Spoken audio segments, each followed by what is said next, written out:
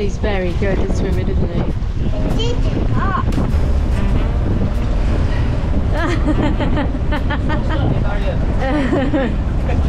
you. Oh, thanks. One day we'll own an island.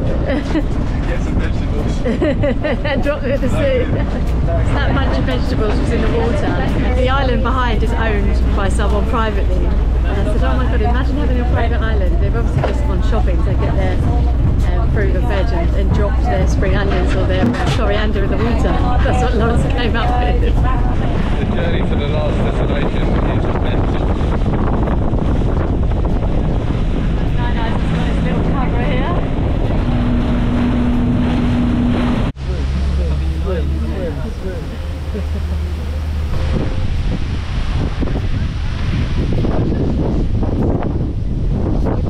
So this is place number five. Again, like a little paradise island. I'm gonna go swimming. Take you with me. Try this. Lawrence didn't get on with it because of his beard. But hopefully I haven't got a beard, so here we go.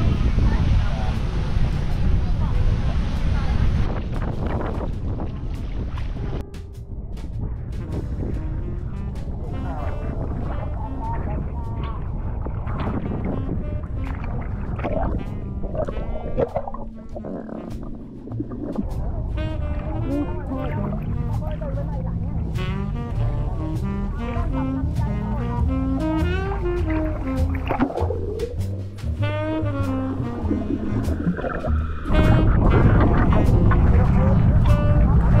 can't believe it. Helpful.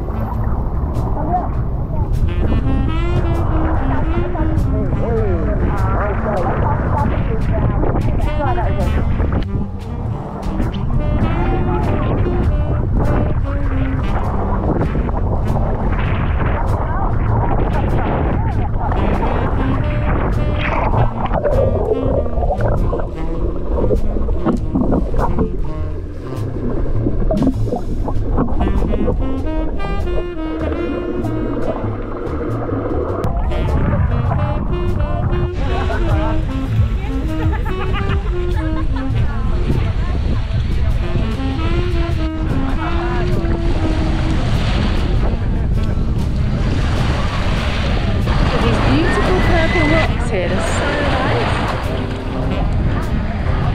See what the boys are doing.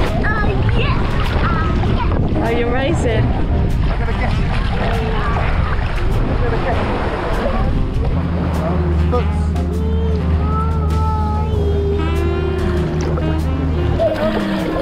Who's gonna win?